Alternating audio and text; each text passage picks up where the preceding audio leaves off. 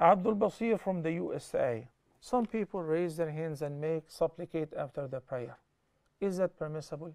That is permissible.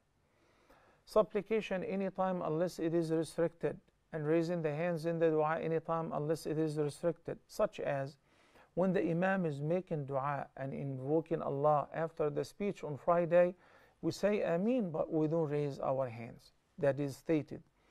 But after we make a halqa uh, and I make dua, after I recited Quran and I make dua, raise your hands. Raising the hands is a sunnah.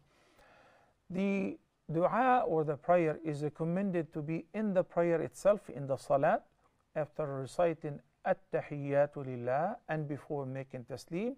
This is a very precious time to supplicate to Allah. And in every prostration, it's a very precious time to supplicate to Allah. And if you were to supplicate after the prayer on your own and raising the hands, that is permissible. But is it something related to the finishing of the salah? Is it a sunnah to supplicate after every salah? No. But you may supplicate if you want to. But it is not a part of the regular prayer.